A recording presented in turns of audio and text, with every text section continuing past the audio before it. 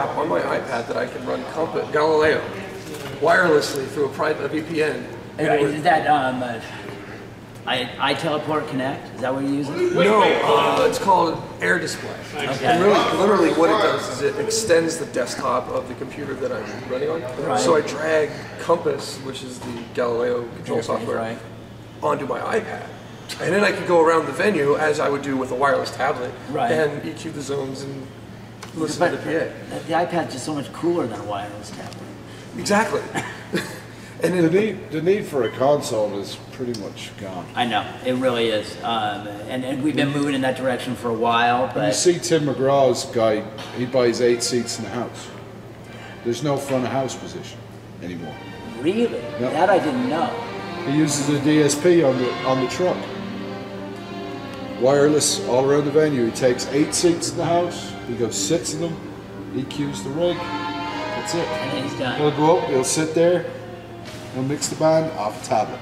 And, and All eight on venue. And eight seats in the cheap seats are nothing when you Compared get down to- to, to you know what, 16 seats even in a small Oh, position. at least. so I'm a control freak. I'd still want to have.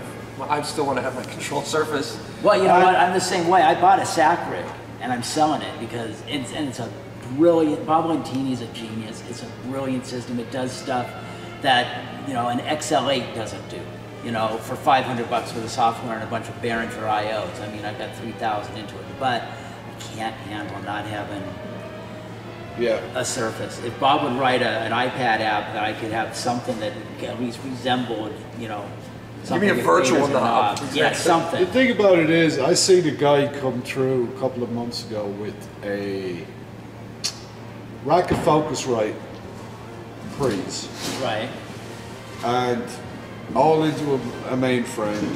Mainframe out to these Behringer USB controllers, eight channel USB Yep. Controllers seen. Yep. with a screen. Yep. It sounded like I. She's recording this right now, so I can't. We can cut it out. It sounded like cats fucking.